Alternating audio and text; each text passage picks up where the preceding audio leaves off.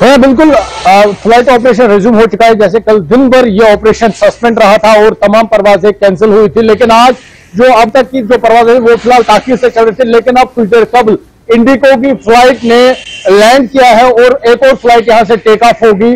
और जो आपने कहा कि कांग्रेस के बड़े लीडर यहाँ पे फंसे हुए थे और हमारी बात हुई कांग्रेस में कुछ जरा है, उनकी, उनका कहना था कि जो ही फ़्लाइट ऑपरेशन शुरू होगा और जिनको इमरजेंसी है, नेताओं को, जिन लीडरों को इमरजेंसी है उन वो पहले निकलेंगे क्योंकि पार्लियामेंट का सेशन चल रहा है और सुबह से जिस तरह से लगातार जो परवाजें डिले हो रही थी और कहीं ना कहीं वो मतलब जो पार्लियामेंट सेशन में उन्हें पहुँचना था वो नहीं पहुँच पाते लेकिन अब जिस तरह से जो फ़्लाइट ऑपरेशन रिज्यूम हुआ है तो पहली प्रियोरिटी में जिन लीडर्स को पार्लियामेंट पहुँचना है वो निकलेंगे। मैं अभी बेसिकली ही ना एयरपोर्ट रोड पे हूँ और यहाँ पर आप जैसे गाड़ी की आवाजाही अब हो रही है क्योंकि एयरपोर्ट की तरफ़ अब लोग जा रहे हैं जो आ, मुसाफिर वगैरह है जो टूरिस्ट वगैरह है वो अब निकल रहे हैं और एसी के चलते क्योंकि मैंने कहा कि पहले ये एक जो फ़्लाइट है हम्म। वो लैंड कर चुकी है यहाँ पर और आ, कुछ फ़्लाइट यहाँ से अब टेक ऑफ़ होगी क्योंकि अब सरफेस बिल्कुल क्लियर है आप देखिए किस तरह से अब जो ये एयरपोर्ट की तरफ़ लोग जा रहे हैं अपना सफ़र जारी रख रहे हैं। और जैसे आप कह रहे थे कि पार्लियामेंट का सेशन है और कई लीडर यहाँ पे फंसे हैं जो भारत जोड़ो यात्रा का हिस्सा बनने आए थे। हम्म। और वो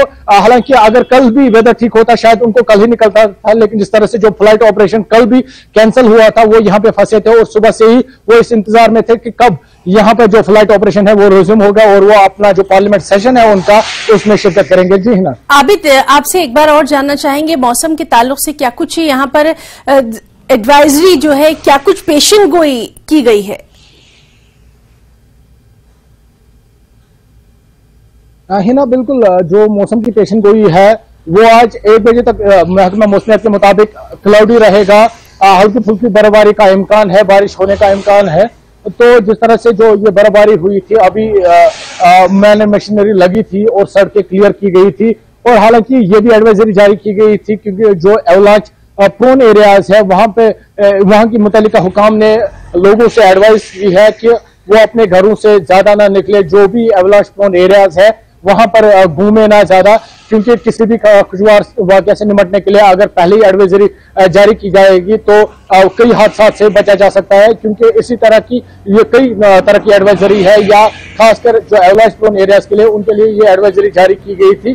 तो और वही अगर आपने जैसे कहा, महकमा मौसमियात की तो पेशेंट को की गई है एक बजे के बाद शायद मौसम ठीक हो सकता है लेकिन हिना फिर से आपको ये मौसम दिखाएँगे आसमान का हाल दिखाएँगे जिस तरह से आप फिर से ये आसमान अबर आलूद हो रहा है। हम्म, हम्म। तो कहीं ना कहीं लग रहा है कि फिर से बारिश या हल्की फुल्की बर्फबारी का इम्कान हो सकता है। आप देखिए किस तरह से थोड़ा सा क्लाउडी जो मौसमियात ने बोला था कि क्लाउडी रहेगा और कई इलाकों में जो हल्की फुल्की बर्फबारी और बारिश हो सकती है तो उसके इम्कान साफ़ दिख रहे हैं लेकिन हिना कुदरत है।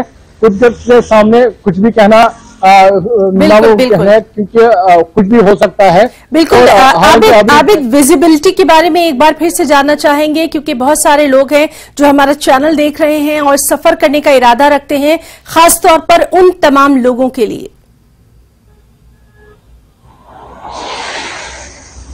बिल्कुल है ना अब विजिबिलिटी बेहतर हो चुकी है श्रीनगर एयरपोर्ट पे। जिस तरह से जो परवाजों का ऑपरेशन है वो शुरू हुआ है। तो यानी 900 से 900 मीटर से जायद विजिबिलिटी है। तो इससे कबल जो हमने मॉर्निंग में इनसे अपडेट लिया था उस वक्त 200 मीटर थी फिर नौ बजे 900 700 मीटर थी और अब ये 900 से जायद हुई है जिसके बाद जो फ़्लाइट ऑपरेशन है वो रिज्यूम हो चुका है। सरफेस भी इन्होंने हाल ही आ, कल ही हालाँकि कल ही वो सरफेस इन्होंने क्लियर की थी। रनवे बिल्कुल क्लियर था लेकिन विजिबिलिटी कम होने की वजह से जो फ़्लाइट ऑपरेशन था, वो रुका पड़ा था, लेकिन अब विजिबिलिटी में इजाफा हुआ है और फ़्लाइट ऑपरेशन फिर से बहाल हो चुका है ना आबिद, आपके पीछे जो रोड नज़र आ रही है, वो भी साफ़ नज़र आ रही है। हालाँकि कल जो तस्वीरें आई थी, उसमें साफ़ तौर पर देखा जा रहा था कि स्नोफॉल ज़बरदस्त हुआ है। यानी लगातार मशीनरी लगी हुई है सड़कों पर से बर्फ़ हटाने के लिए। बिल्कुल है ना? हम आपको ये तस्वीरें ही दिखाएँगे। ये आईजी रोड है बेसिकली जी। आ, जो एयरपोर्ट की जानब जाता है। तो यहाँ पर भी इस रोड को कल ही क्लियर किया गया था जैसे बाकी रोड को क्लियर गया था। लेकिन हिना एक प्रॉब्लम आती है जो ये साइड सड़क के किनारे बर्फ़ जमा रहती है। ये चलने फिरने में मुश्किल का सामना करती है क्योंकि सड़क काफ़ी चौड़ी नहीं है उसके बाद बर्फ़ हटाई जाती है लेकिन कुछ मकाम पर आप देखिए जैसे यहाँ पर साइड में जो बर्फ़ है वो जमा है तो इस वजह से जो गाड़ियाँ है उनका चलना अब बहुत मुश्किल हो जाता है और कई हादसा के शिकार हो जाते हैं। ऐसे में लोगों से यही अपील की जाती है जो इंतजामिया है या ट्रैफ़िक पुलिस है कि ड्राइव केयरफुली आराम से चलिए क्योंकि बर्फ़ की वजह से कभी भी फिसलन पैदा हो सकती है और रेस्ट्रिक्शन टायरों में रेस्ट्रिक्शन न होने की वजह से गाड़ी सिक्योर कर सकती है, जिसकी वजह से जो हादसा होने का खतरा लाक रहता है हिना। जी, बिल्कुल आबिद और लगातार, खासतौर पर फ्लाइट्स और ट्रेन के ताल्लुक से हम अपने नाजरीन को ये अपडेट दे रहे हैं। और यही कहा जा रहा है कि घर से निकलने से पहले अगर आपका सफ़र का इरादा है तो पूरी तरह से बाखबर होकर ही निकले। आबिद, बहुत जल्दी ट्रेन के ताल्लुक से भी जानना चाहेंगे। ट्रेन का सफ़र जो लोग कर रहे हैं, उनके लिए क्या कुछ इतला है हाँ, बिल्कुल है ना जैसे कि हवाई सफ़र के साथ साथ कल ट्रेन खदमात भी मुतासर हुई थी और आज सुबह साढ़े आठ के बाद जो ट्रेन सर्विस है वो भी बहाल हो चुकी है लेकिन वो पार्सली बहाल है क्योंकि बानिहाल की जानब जो ट्रेन जा रही है वो पूरा बानिहाल नहीं जाएगी सडोरा एक स्टेशन है वहाँ तक वो ट्रेन चलेगी। बाकी जिस तरह से हमने कल भी तस्वीरें शेयर की थी जी, रेलवे लाइन है या रेलवे ट्रैक है उस पर काफ़ी बर्फ़ जमा थी, क्योंकि दिन भर भारी बर्फ़ हो रही बारी हो रही थी। उस वजह से जो ट्रेन ऑपरेशन है, उसे भी रोकना पड़ा था और जो रेलवे स्टेशन थे, वहाँ पे हमने कल दिखाया, सन्नाटा छाया हुआ था।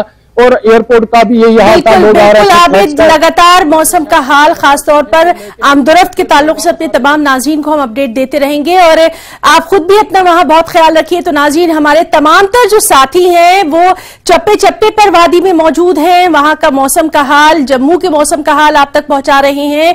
और किस तरह से वहाँ पर लगातार मशीनरी लगी हुई है ताकि लोगों को किस तरह से दिक्कत पेश ना आए इसके ताल्लुक से भी हमारे तमाम तर साथी आप तक अपडेट पहुँचा रहे आबिद